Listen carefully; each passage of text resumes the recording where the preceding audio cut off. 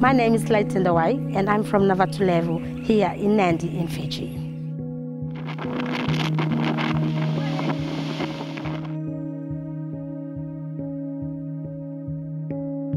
During cyclone time, my house was half blown away. But I stayed there for about uh, three or four hours. So the rescue boys, they came over when the wind was blowing so hard. They came over and took us to the headman's village house.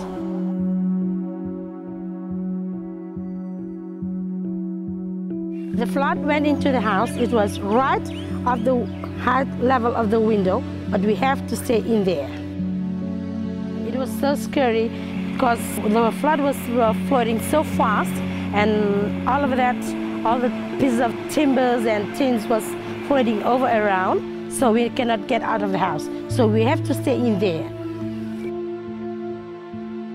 When the flood came in, we lost, I lost my bed, all my sleeping uh, mattress and pillows and blankets, uh, clothes, all of them got wet, even the carpets, the rugs, and everything got damaged. So we cannot do anything. I've been through all these cyclones and I'm putting onto myself, preparing to be alert again during hurricane or flood time once more.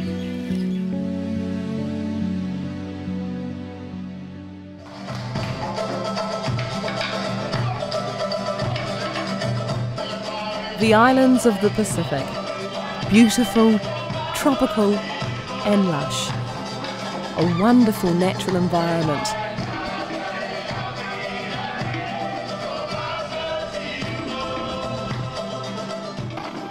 But the Pacific has its challenges natural disasters. In recent years, cyclones, tsunamis, earthquakes, and floods have all struck in the Pacific causing devastation to local communities. The remoteness of many islands often makes external response difficult, and building more resilient communities is a priority. Many Pacific nations are moving quickly to improve their abilities to manage and reduce the impact of a natural disaster with the help of many partners, but the needs are great. Humanitarian organisations such as yours are often the first to respond, with local teams already in the area. They begin work immediately to deliver urgent medical assistance and aid where it's most needed to assist the local communities to help themselves. Speed and efficiency are crucial in the early efforts to save lives and to minimise human suffering. When an emergency happens and you're responding to it, there's an enormous amount of things that need to be done, it seems almost at the same time. It is chaotic, um, that's the very nature of emergencies. There's a lot of people, there's noise, there's confusion, there's chaos, and everyone seems to want everything at the same time. It's a very challenging time. Uh, it's a time when you have to make a fast decision in order to save lives. The video that follows will explain and demonstrate how to plan, organise, and run a disaster simulation field exercise, usually called a SIMEX. A simulation exercise is a fictional disaster event created for the purpose of testing all of the people, systems, and procedures that would come into play in a real disaster. A SIMEX can be large or small depending on the aims and resources of your organisation. A large SIMEX engages many groups. At the higher level, it tests the national and local governments and the systems they have in place. It also tests organisations like the police, fire, and ambulance, as well as NGOs and other external groups. And lastly, but most importantly, it tests the communities that are likely to be affected by a natural disaster. In every case where simulation exercises are conducted, people and systems are tested, issues found, and lessons learned. And this can only make communities and countries stronger for the real event. And that is why simulation exercises are important. The key thing is to really to practice, to be prepared and to, to get people involved in thinking about the steps they need to take to be better prepared for the next disaster and to eventually save lives because that's what we're doing this for.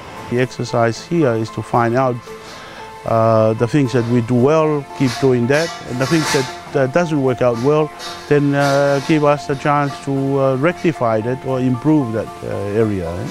Every simulation that we do, it's an opportunity for key stakeholders, especially the National Disaster Management Office, to look at where maybe the strengths and weaknesses are in some of our disaster plans.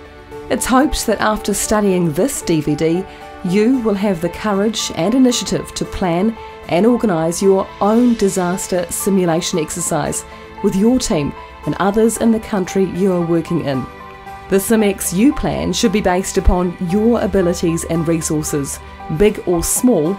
The most important thing is to do what you can for building resilience and capacity ultimately saves lives.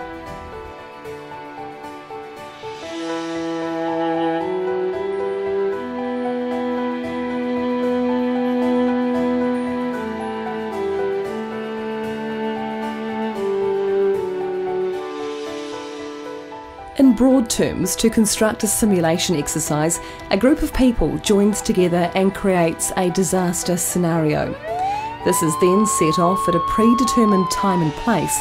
That group then watches and facilitates all of the parties that should respond in a real disaster to do what they should do. But simulation exercises can be complex, engaging lots of different parties, so meticulous planning is very important.